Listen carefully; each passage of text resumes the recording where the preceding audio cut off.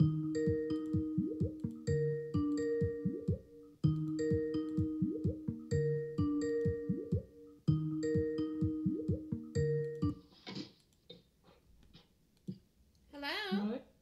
Oh, hi, Melissa. How are you? Good. How are you? How's it going? Great. What uh what time is it there? Uh, it's about ten thirty-eight in the evening. that is hilarious. So you trade at night every time. Oh, not if, well. Friday nights I've been doing it, and um, what's happened is recently because of the daytime daylight savings has, Yeah. has changed again, so it's actually a bit more reasonable. So Oh. the US markets open eleven thirty at night Australian time, but previously it's 1.30 in the morning, so that was a bit tough. Wow. All right. So let's let's talk here. I first of all, are you in? I don't know if you. I know you're on the option letter. Did you do Disney? Look at it. Did you do that one? Oh no, I missed that one. I find that. Oh God! Look at it. I know, because of the time difference and stuff, like I either get in them too late or, you know, exit too early. I've just got, I'm just very up and down with my trading, that's all. So do you think that the reason is because of the time zone difference?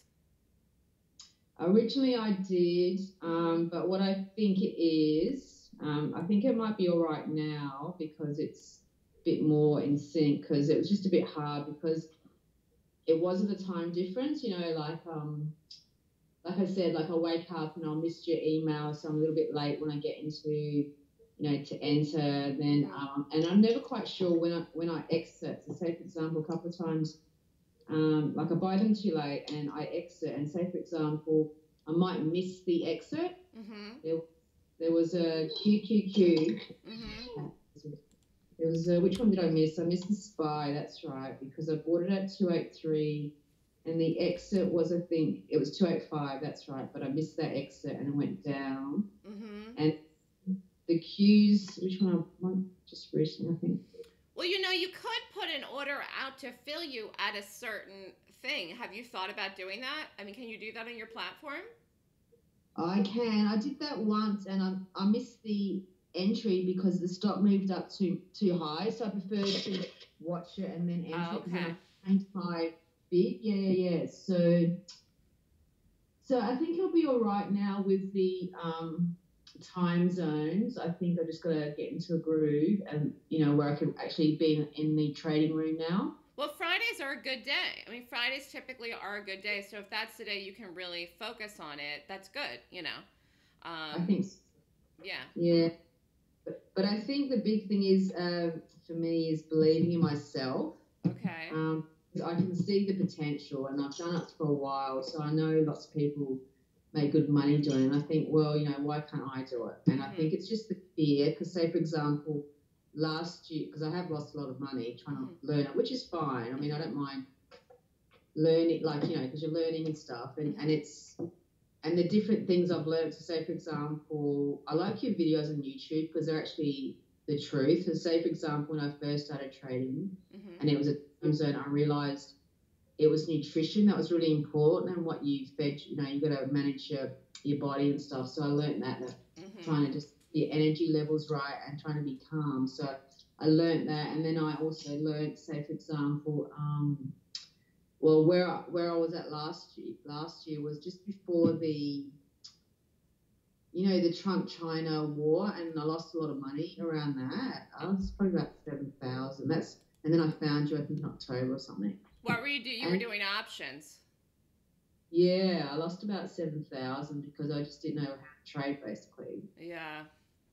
And then and and just over the years, like you know, I just think, you know, I've lost lots of money, and I think, oh, maybe I'm just in that mind frame, and I, I can't seem to, you know, I need to just flip the switch. And I know lots like yourself, other successful people were losing money, and then all of a sudden you you you, you know something happened, and you kind of just made lots of money. So I'm persevering, still learning, the, you know, different methods, and I'm, and I'm aware. I'm at the stage now where I'm where it's more, yeah, your minds and your Mhm. belief systems. hmm Yeah, so that's where I'm kind of at. So But are you? um, Do you not believe that you could? Can, you can do it, or you do, but you're like haven't hundred percent convinced yourself. It's like you want to believe it, but you're like you're like not hundred percent. Like you you want to believe that you can, but you're like don't totally. or what? It's like I can see the potential, and, and I know people can do it. I don't know if I can just do it. I, know, I mean, I know I can because I've made wins before, but then I lose it. So maybe it's um like a programming or something, or you know, you can't make money doing this, or it's yeah, because it actually is really easy to be honest. I can see that, and when I Mhm. do do it, I think it's um yeah, I don't know, maybe I don't believe myself something, or Well, now ha- have you are your how many days are you in the room? I haven't I haven't noticed. How many days are you in the room? In the five days of the week, how many days are you in the room?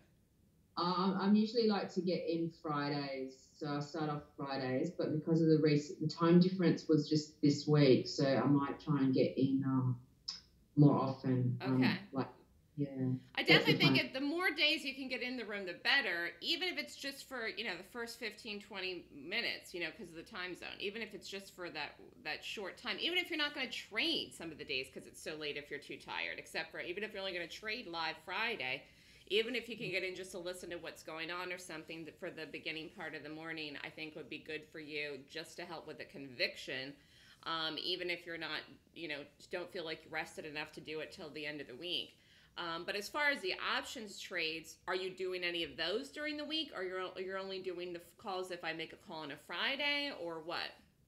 I know I'm doing the options. I do. I do the Qs. I like the Qs and the spies because I've got a bit more time, like the 15 minutes before and after the Okay. market. Yes. Oh, sorry, 10 minutes after, not before. Yeah. hmm So I like the um, and then where's my notes? So are you Um, in these calls here? Because this is at 290 basically. Are you in the spy?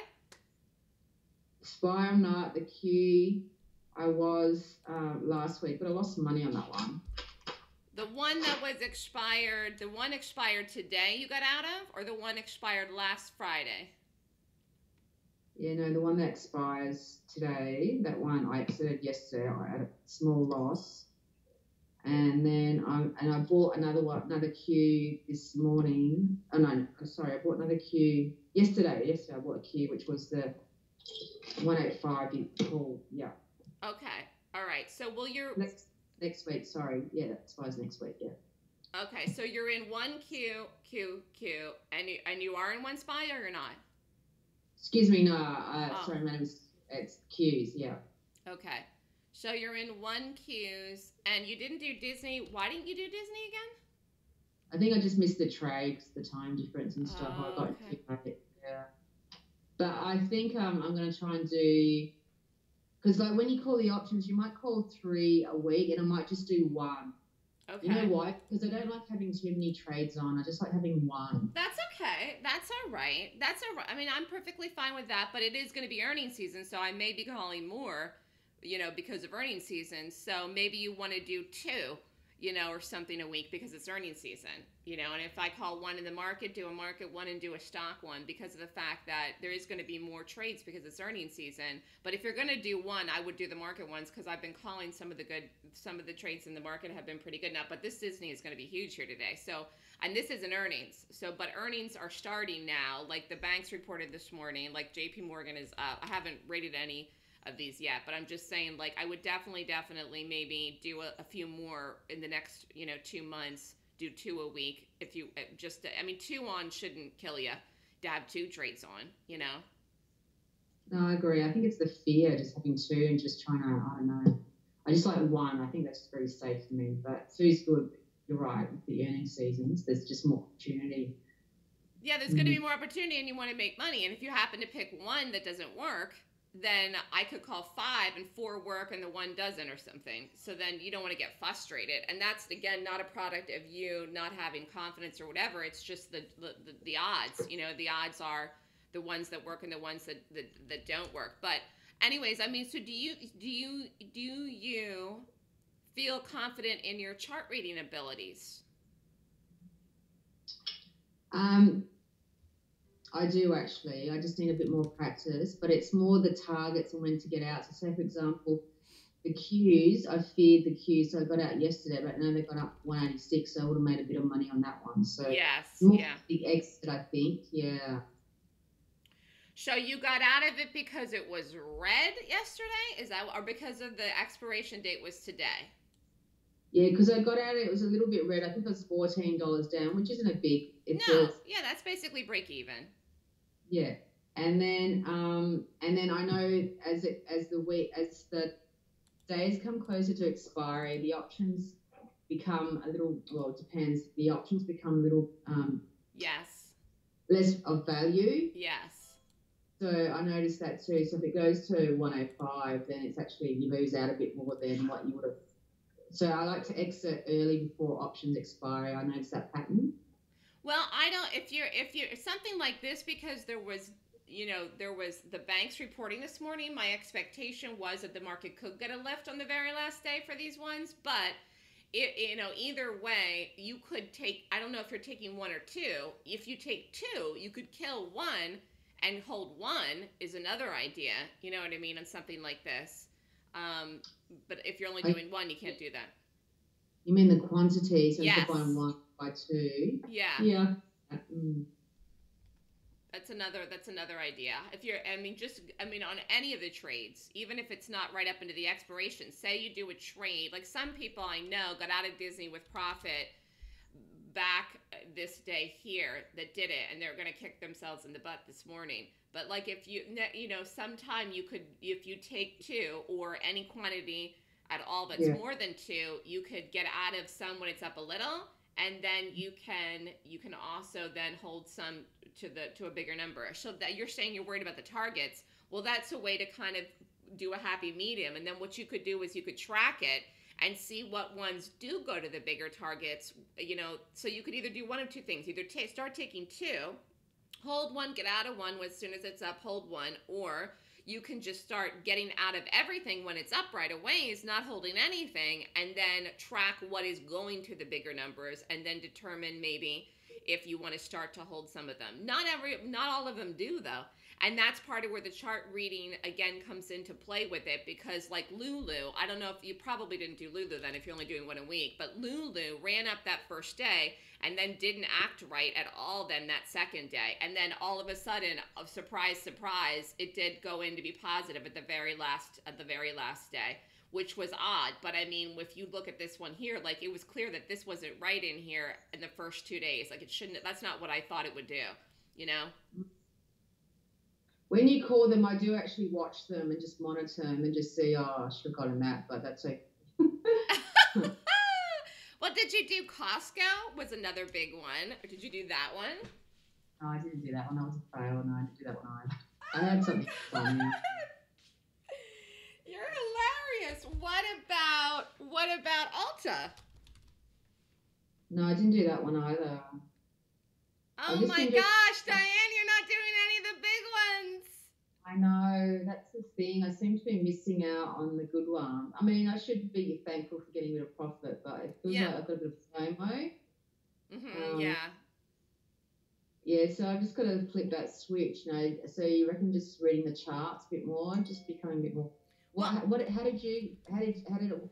Because you mentioned you were losing money, and then all of a sudden it clicked. Is that because just persevering, just reading the charts, etc.? Well, I mean, I, at the beginning, I, I didn't understand what I was doing. You know what I mean? So it was a period of not understanding what the what what the charts were telling me. So that's you know once and then it, like I said, it was about three years to develop my system. So for me, and the greatest piece of it is the biggest part of it is ha- having understanding what the gaps are telling me in the information and what ones are good and what ones are not good so for me that was the biggest the biggest piece of it that that obviously when people are starting out if they don't have a strategy then they're all over the place. I will say that having a good mental positive attitude believing in yourself all of that is definitely key but really you still won't make money in the market if you don't have a good strategy even if you even if you have all the confidence in the world because obviously like for example if you were short short Disney here, you would be down a lot of money no matter what today. You know, so you have to have a you have to have the strategy is the meat and potatoes, and then the confidence part of it adds on to that to make you stronger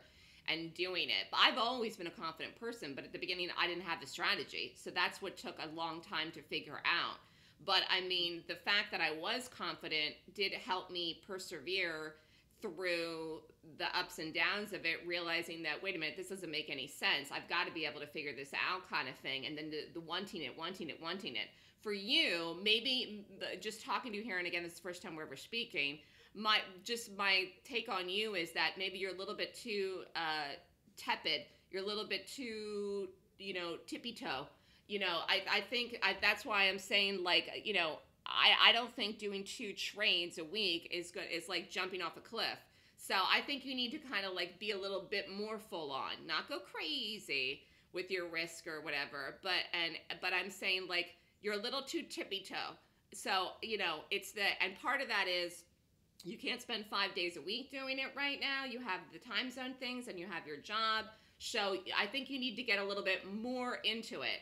And even though it's safer for you to be doing one and like kind of just thinking it through, I think you need to push yourself a little bit more because you know you'll you'll you'll feel then stronger by doing that. And again, two trades a week is not is you know even if you would lose in two trades a week, that's not the end of the world. You know, so I mean, and I'm not saying you're gonna because I've been making some great calls. So I think you need to push yourself a little bit more, is what I'm saying.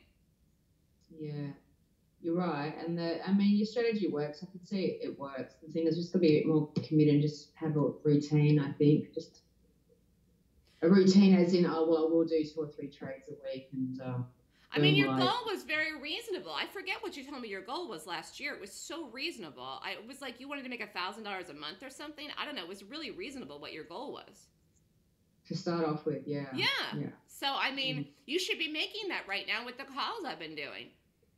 Mm. But you're not doing all the trades. Well, I'm not doing all the trades, and you know, I'm very up and down at the moment. Like it's up, and then it's red. It's green, and then red, and green, and red, and up, mm-hmm. up and down. Mm-hmm. So, like you, like, what did you have at risk in the Qs? Like, what was your price in this? You said you killed it and lost fourteen bucks. What did you pay for that one? Yeah, I'll just look at my notes. So, as it cats here. Um, Qs was I paid 93 cents at, and I bought it at 183.69. Mm-hmm. When was that? That was Thursday. That was Thursday last week. That's right. Yeah, yeah. So it's about a week ago. Okay. So you then paid. You paid. So you had two or one that you paid 93 cents for. No, I bought one. Yeah, one. Okay. So what would have been the la- the worst thing in the world if you had held this? The worst thing in the world would have happened is you would have lost ninety three dollars.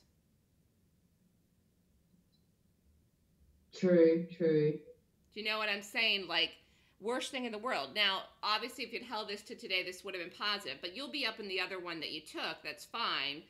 Um, but I'm just saying, like, kind of maybe think of it like that. Like this is what I'm saying. Like push yourself a little bit. Like I think you're you're show you're you're almost like you're almost like shy about it now because of the losses that you took before you found me and over the years.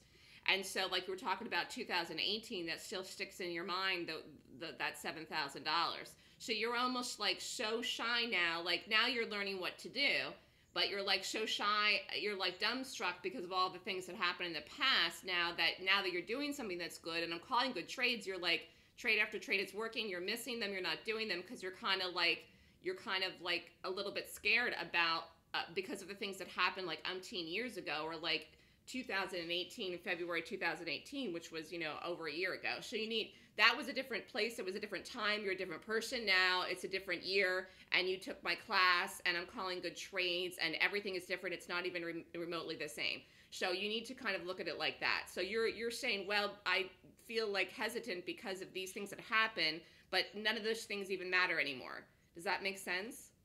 Yeah, it makes sense. Yeah, because I got burnt, so I'm just a bit, bit um, fearful of that. I think. But just because you got burnt in the past doesn't mean you're going to get burnt now. You got burnt before you did my class. You got burnt before you started getting my trades. You don't want to let this whole year go by where you're in the room and on the letter of me calling these trades and then all of a sudden it's the end of 2019 and you're like oh crap i should have done more of the trades you know what i'm saying well that's what i'm worried about because you know i'm just not really committed yet you know what i mean i'm just um but you, mm. but you don't have to 100% commit yourself five days a week and quit your job right now. Doing a doing a, a taking five more steps forward or two more steps forward, like I said, doing two more trades or whatever. That's not throwing. You know, that's not jumping off a cliff. That's that's still just moving a little bit forward where you should still feel in a safe zone. And trust me, it's not going to take that long. If you had done Disney, maybe this is all you would have needed. I mean, I don't I don't even know what this is going to open at today or be worth at this point. But if you had done Disney, it was the 120 strikes. It's $4 through the strike and it's got two more weeks left, so god knows what this will be worth. So if you had done this trade and made 2 grand just risking a little bit of money, I don't again, I don't know if that's what it's going to be worth, but I'm just saying that you might only need something like that to help your confidence really get a boost but you're not allowing that for yourself because you're you're being too shy about taking the trades yeah, my plan was an options trade and a day trade to get, could get a bit more experience and confidence in both. Okay. That was what I would like to do. So, um, well, that's, that's yeah. balance the system. And then I wanted to do your other course, which was the options one, pending time zones and all that business. So, yeah, that was my plan. Yeah, I mean, I think that you you're not doing bad. You think you're doing bad because you feel like you're not making up progress, but you're really just I just think you're overthinking doing a lot of the trades. Um, and I think you're definitely, definitely, definitely thinking too much about things that happened in the past. The past is not now. Now is now. The future is not the past either. And the future isn't even now. But the future is going to look exactly like now, where you're not where you want to be if you don't stop thinking about the past. I feel like I'm mentally in a better place because I'm more, I'm not, you know, when I put on trades in the past, it was more fearful, but now that fear's not there. It's just a bit more confidence when I'm actually doing the trade. It's mm-hmm. more when I get out and I'm a bit um, not sure of how long to keep them. Because I could have, you're right, I could have kept the Qs until today. But then, you know, I just thought, no, I'm going to lose money. Fourteen dollars is a lot better than ninety three, I guess. But, well, that's um, true. And you took another one. You took another one. So if the market rallies today, if the market rallies. So what are you going to do with this one? So you took another one here, even though I didn't call a Q's trade yesterday. You took it. What are you going to do with this one? If this runs up today to 187, 188, or whatever, you could be up 100 bucks or whatever. Are you going to get out of it, or what are you going to do with this?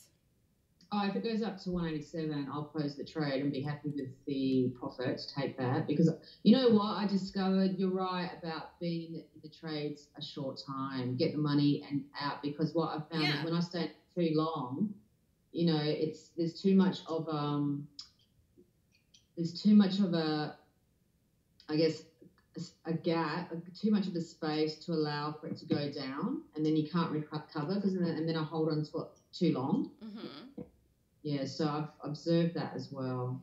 So I like to be in trades one or two days, three days. I'm happy if I've got profit. I'm happy. Um, just to build up that confidence and I guess the balance. Yeah.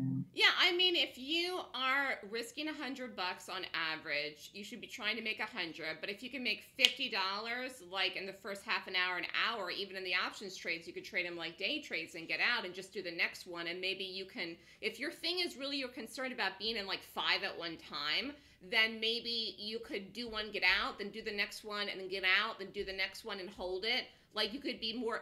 Uh, what I'm saying is maybe you need to try to be a little bit more active. Even uh, I, what I'm not saying do everything in the planet. I'm just saying be a little bit more active because one, it's earning season. Two, I'm calling good trades, and three, you need to almost test yourself.